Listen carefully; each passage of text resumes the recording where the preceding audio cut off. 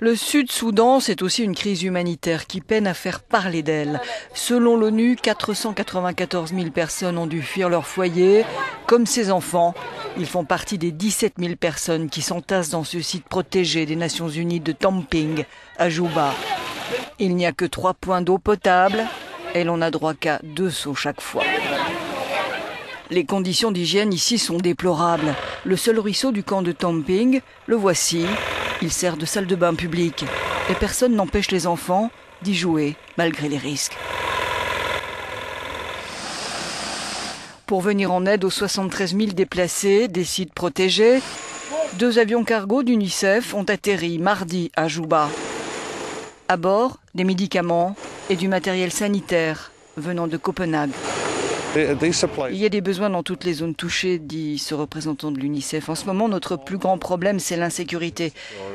C'est pour ça qu'il est difficile pour nous d'entrer et de sortir des zones, des villes comme Malakal, Bentou ou Bor. Depuis le 15 décembre, la violence interethnique a fait au moins 1000 morts dans ce pays, le plus jeune du monde. Quelques 78 000 Sud-Soudanais se sont réfugiés dans les pays voisins, dont l'Ouganda. Ici, à Adjoumani, un camp de fortune a été construit.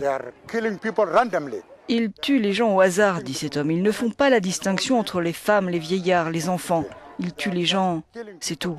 Un meurtre de masse. Dans ce camp, ils sont 39 000 selon la Croix-Rouge, surtout des femmes, des enfants, des personnes âgées.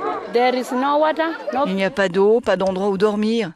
Et puis des gens souffrent de la faim. Il n'y a rien ici. Depuis que nous sommes arrivés, on n'a pas eu de vêtements ni rien, dit cette réfugiée.